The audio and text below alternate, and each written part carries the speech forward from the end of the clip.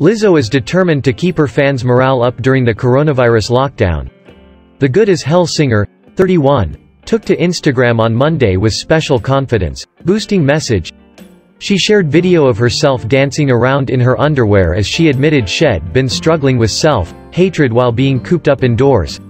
In the saucy clip the hitmaker whose real name is Melissa Jefferson donned barely their black thong bodysuit as she twirled around for the camera.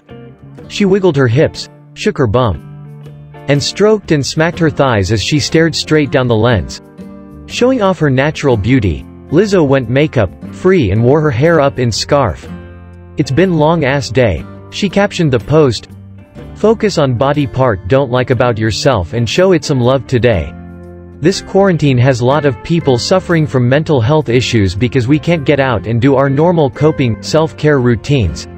Self-hatred was starting to creep up on me but gotta remember I am 110% that B asterisk asterisk asterisk H. Love you. She added sad face and peach emoji to finish the post.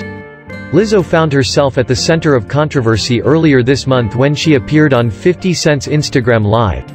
The rapper was accused of body shaming her after he asked her to stop twerking during the broadcast.